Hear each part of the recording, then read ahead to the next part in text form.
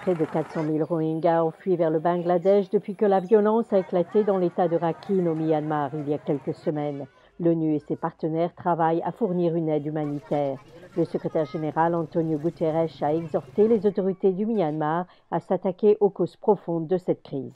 The Muslims of Rakhine State must be granted nationality or, at least for now, a legal status that allows them to lead a normal life including freedom of movement and access to labour markets, education and health services. I declare open to order its first plenary meeting. L'Assemblée générale des Nations unies a ouvert sa 72e session mardi. Le président de cette session, Miroslav Lajčák de Slovaquie, s'est engagé à promouvoir la paix, la sécurité, le développement durable et les droits de l'homme. Le débat de haut niveau de l'Assemblée générale commence la semaine prochaine avec des milliers de diplomates des 193 États membres.